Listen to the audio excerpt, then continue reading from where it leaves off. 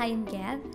Hi, I'm Damien, and you're live with Affordable Staff. This is where Gab and I answer those questions that we get asked each and every week when we're talking to clients and people right around Australia and New Zealand.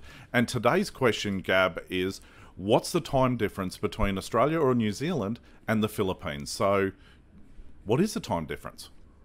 Okay, so we're actually two hours behind Brisbane. We have Yep. the same time zone as Perth. Okay.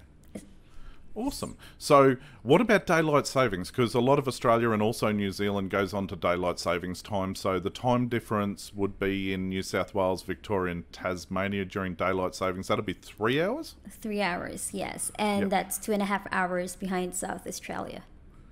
Okay. And New Zealand, so it's four hours.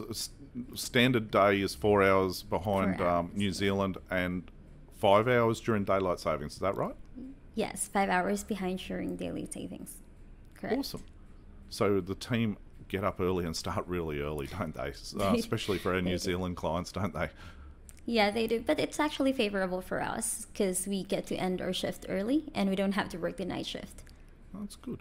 So this has been Damien and Gab uh, for Affordable Staff, where there's a better way to outsource.